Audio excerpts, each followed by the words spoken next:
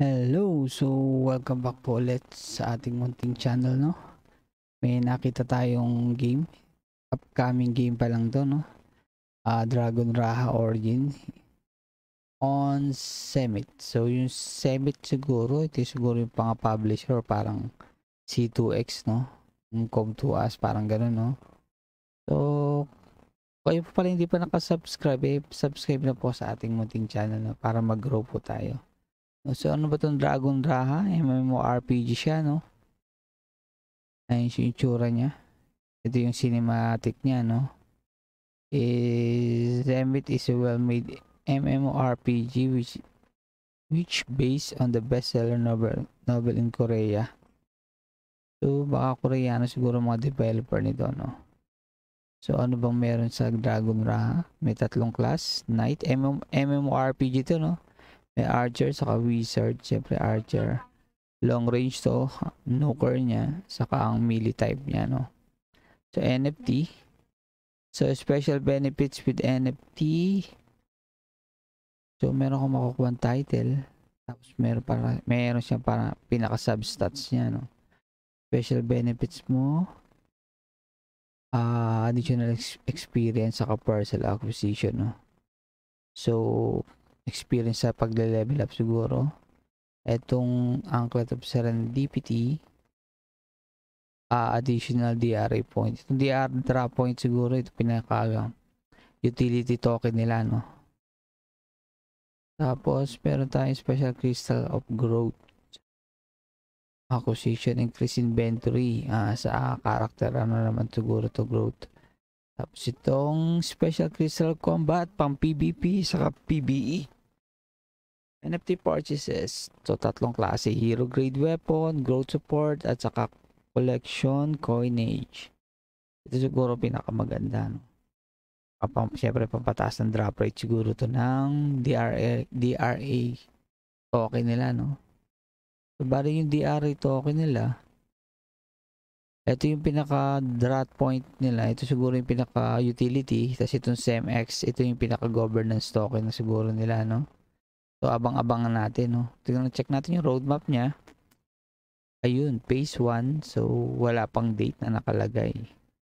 Zemit token yung pinaka ano niya nga, airdrop events for order. So wala pa, hindi pa siya nakiklik. Hanggang phase 2. Tingnan check natin yung mga partners. Puro coming soon pa, no? Geometry coming. So, marketplace. So, wala pa sila marketplace. So, yun lang. No? So, hindi pa siya nada-download. Pero pre-register na siya sa, ano, sa Google Play Store. Click nyo lang to. Mag-pre-reg na kayo. Ayan. Para makuha nyo itong mga perks o itong mga ben free nila. No? High grade transformation. Yung mga to, no?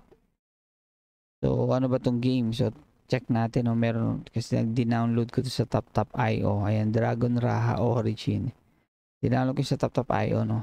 So check lang natin tingnan natin kung ano yung gameplay niya sa kung ano yung pinaka-itsura niya. So create tayo. Login tayo nakapag-create na ako. So check mo lang check lang natin ito yung pinaka-mili niya.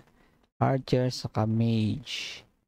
So gumawa ako ng archer. So ayan check natin. Pasok tayo sa game mismo ano ba? Ito ba yun o itong red? Ayun na. So, Dragon Raha Origin. Upcoming pa lang to, no? So, abang-abang tayo, no? Check lang natin yung itsura niya. At ang graphics niya. Ayun na nga, no? Nasa loob na tayo. Skip natin yan. Acquire, yes. So, typical MMORPG sa cellphone siguro itsura niya, no? 3%. Skip tayo ng weapon. Skip. Okay, okay lang tayo ng okay kahit di natin naintindihan. Skillbook siguro yun. O, tama yung skillbook na ano. So, punta tayo sana. Magtingin tayo sa battle. No? Ano ba yun? Check. Ito skills niya. Check mode. Siguro equip mo siya. Okay. Basta palo ka lang ng palo ng quest. Okay. Hindi ko na hindi ko na parang na, na-check kung gender lock siya, no. Patapalo lang natin 'to. So, Lakso mo, may auto siya, no?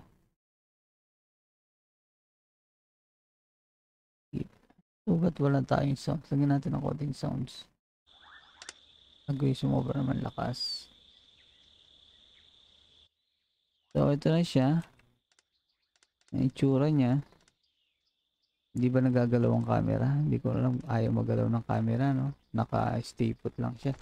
So, taas natin ng konti yung graphics kung saka, baka sakaling gumanda. Kaso hindi ko mabasa. Tignan, tignan na lang natin yung gameplay niya, no? So, click natin itong unang quest niya.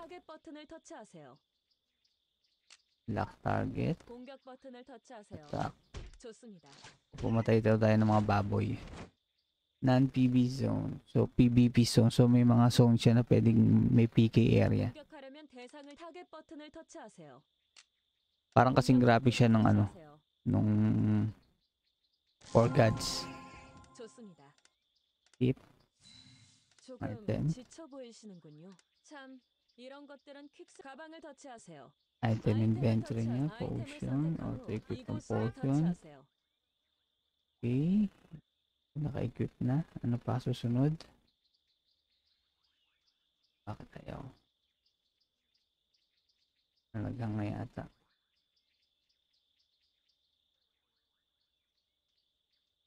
Ayun, naka-equip na. Level up. 준비되셨습니까? Auto-teleport din siya sa ano, quest area. 준비되셨습니까? Oo. naka-auto. Full auto rin yata siya. Okay. Pabalik-balik ka naman ah. ha. Skip. Ito.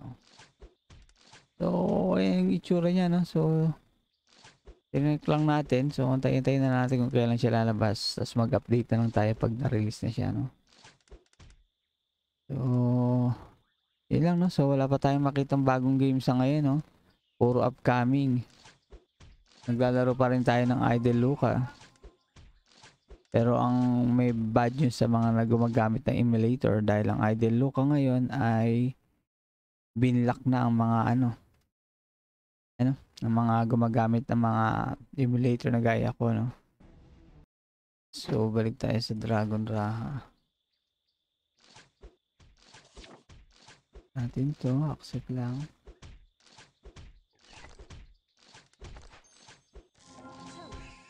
So ganyan lang siya typical na MMORPG na pang mobile no? Tayo na lang natin kung kailan siya re-release. At kung may syempre yung English version niya no? Pero playable siya sa top top kung koreano ka. So hanggang dito na lang no? Update ko na lang ulit kayo no? So salamat ulit sa panonood. Keep watching and thank you for staying. So, subscribe po tayo? Maraming salamat.